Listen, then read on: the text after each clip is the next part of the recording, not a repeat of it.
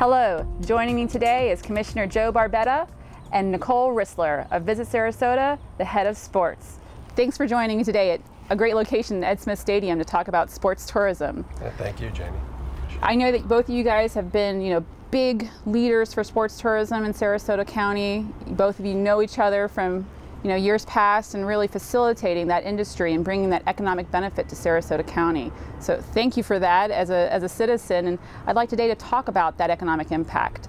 You know, Joe, over the years, what have you seen um, as far as the growth of the economy because of sports tourism? Well, I've been here about 31 years, but in the past, I'd say eight to 10 years, we've seen a, a rapid growth in, in sports and sports tourism, and in particular, probably the last five or six years, mm -hmm. as the economy was taking a downswing, the commission moved towards investing in, in facilities that would bring in sports tourism because we felt that parents will continue to bring their kids to sporting events. People will travel, they'll drive, they'll fly to sporting events. Uh, year round. And, and, with our climate and our great quality of life, we felt that was a good thing to build a base on.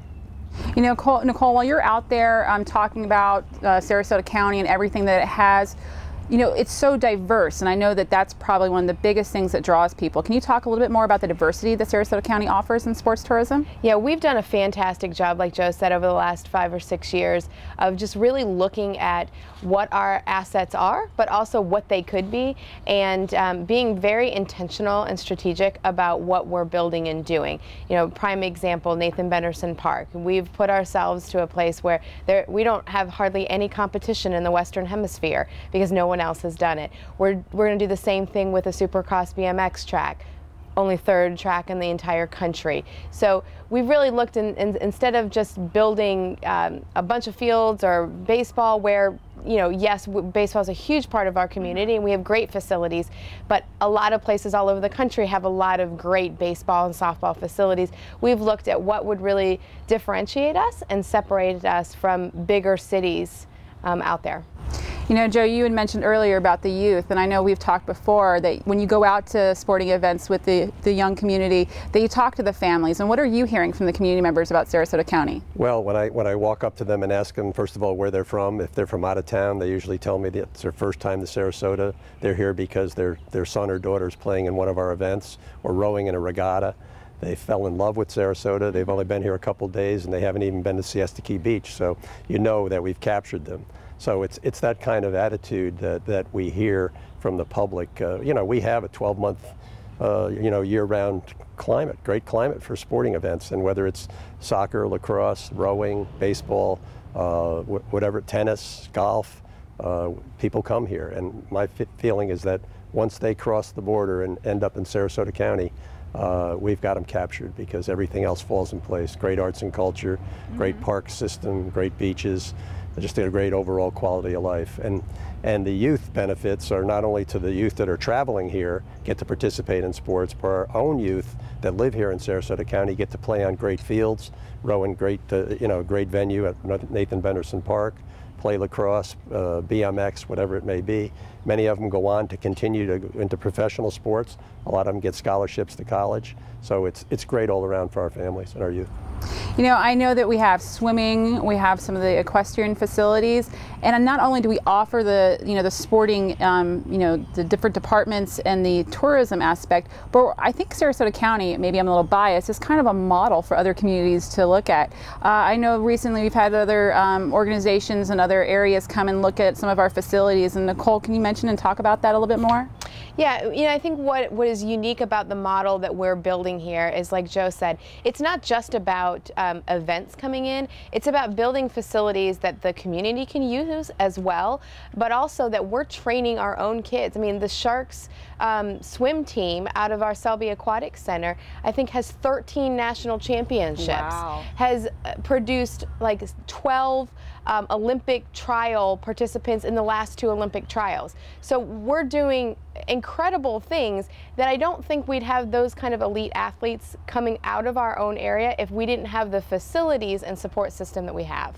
And the facilities, you know, partnering with the county and, and, and maintaining of those facilities, but also there's a lot of volunteers that have to be involved.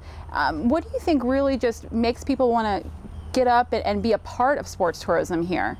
I think it's just a great community. I mean, the volunteer base at the rowing facility, for example, four to 600 volunteers come out on any given regatta to help out.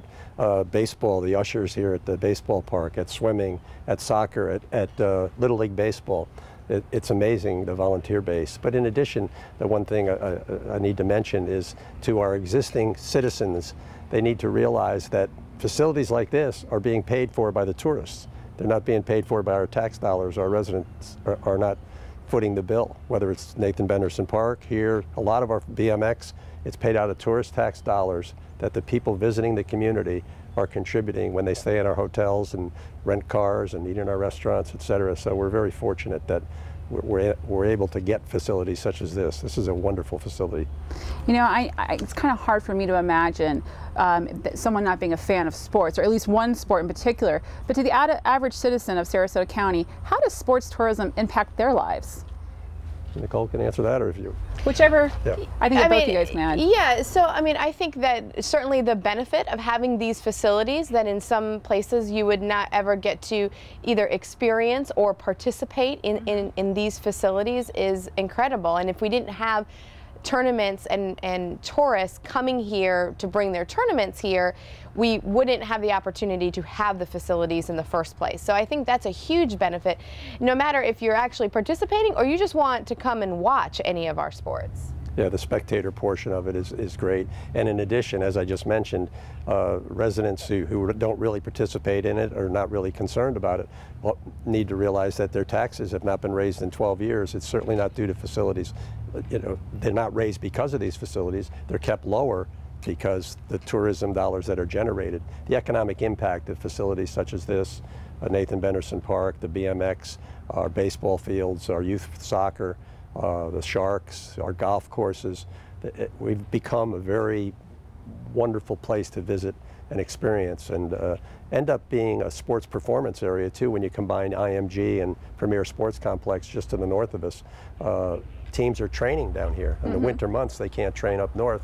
They come here, so we're seeing that happen a lot. Baseball teams, college baseball, college uh, uh, rowing. We definitely have something that no other community can really provide with that year-round weather and all of our great locations. And I just want to say thank you for coming out to Ed Smith Stadium this morning and joining me and for an edition of County Talk. And next we'll examine how important it is to build a foundation that supports local teams and events.